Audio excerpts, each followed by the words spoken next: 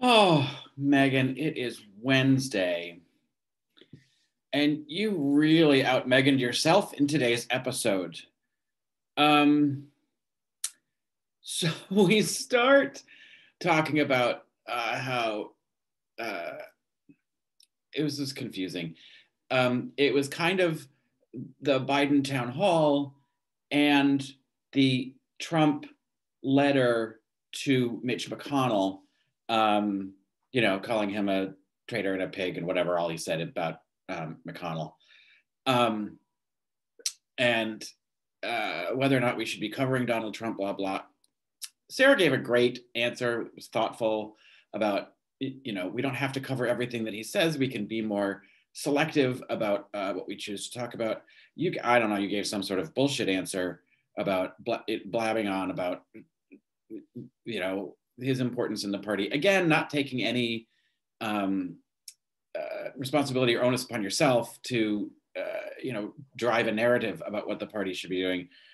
Um, but then you, you know, and this is the theme of today. Uh, Meghan makes it about her,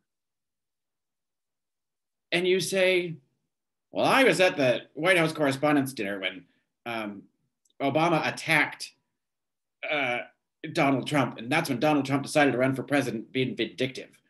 Okay. Nobody cares that you were in the room for that dinner. Um, we all know the legend, and it was Seth Meyers and and and uh, and Obama that you know, in a whole evening that's about roasts, right? It's all meant to poke fun. They made fun of um, something about Donald Trump and he couldn't take it like a big baby. Um, so congrats for being in the room for that. But how that has anything to do with anything is beyond me. Um, but thanks for bringing up that little piece of trivia of your history because it was vital uh, to the story um, or to the topic at hand. So, uh, you know, you make into that one with I was in the room. Then we move on to um, Andrew Cuomo, Governor Cuomo of New York, uh, and the scandal involving all of the people that uh, died in nursing homes um, or elderly people from nursing homes that died in hospitals and how they were miscounted. Um, and he misrepresented all of that. And he was the one who put their lives in danger. Um, and he, you know, he's trying to skate his way out of that one. Um, and, you know, I'm with you. He, he's not uh, being very transparent. We're not getting a full accountability of what happened. Uh, Tish James, who is the state attorney general, um, has brought some allegations against him. You misidentified her as a city um, uh, attorney general. And again, you can't just stick to the topic and give your opinion because you can't have an opinion unless you have a personal story attached to it. And talking about your friend's parents and how they died and blah blah blah blah blah blah. Yes it sounds awful but you don't need to have a personal story to have an opinion on something. Um, it's just it, it's mind-boggling.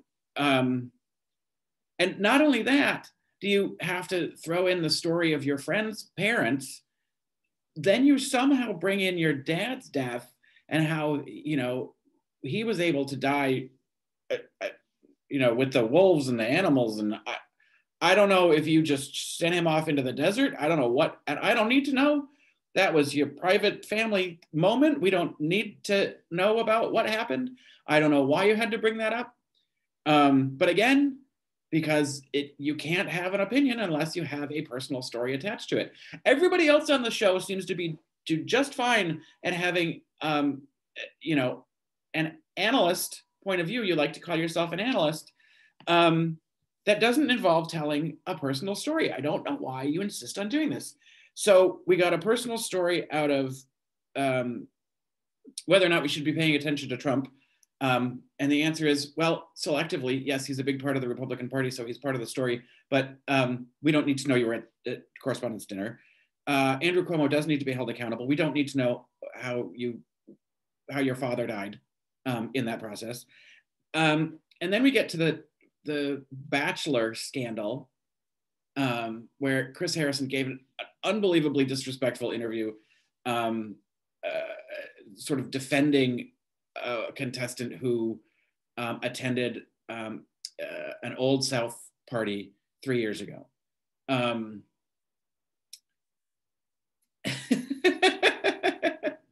and when it comes to race relations, uh, your advice, what you've learned over the last year, um, which is fine, you know, everybody has their time to figure things out.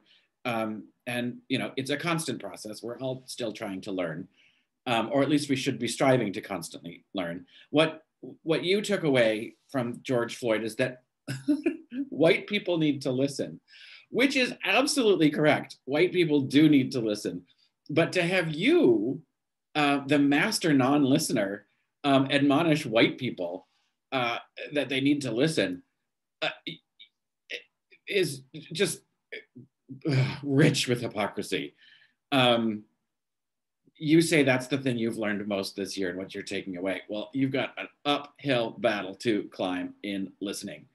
Um, so I hope, uh, I really hope you're working hard on that, Meghan, because we haven't seen a lot of that um, on display yet. So you admonishing white people is is just priceless. Uh, yeah, and um, no, uh, you know the morals of the of the 2018s were not that different from the 2021s. Um, it wasn't that much of a different of a lens. Although I did take offense to Sunny continually calling him a 50 year old man who should know better. Um, some people take longer to learn things. Uh, and, you know, you at least claim to be trying, which is, you know, at, at least you've admitted that, that you have growth, room for growth. Um, so we'll start with that. Whether you actually have the capacity for growth is another. Um, so yeah, Meghan made every segment about Meghan. What a shocker.